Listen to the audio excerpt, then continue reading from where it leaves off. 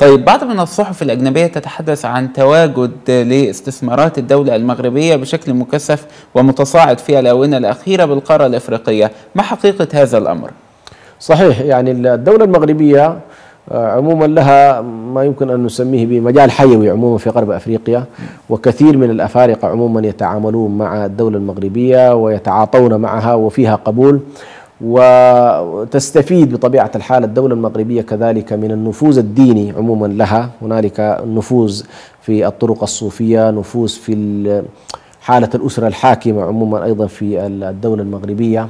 آه تاريخيا كثير من شعوب هذه المنطقة كانت أيضا تخضع لامتدادات على كل هذه الدولة. آه أضف إلى ذلك وضعت المغرب كذلك استراتيجية واضحة المعالم فيما يتعلق بالاتجاه جنوبا نحو الأفارقة. فاستطاعت على كل أن آه يعني تتوسع بشكل كبير جدا وتشكل حالة ممتازة جدا في هذا المجال.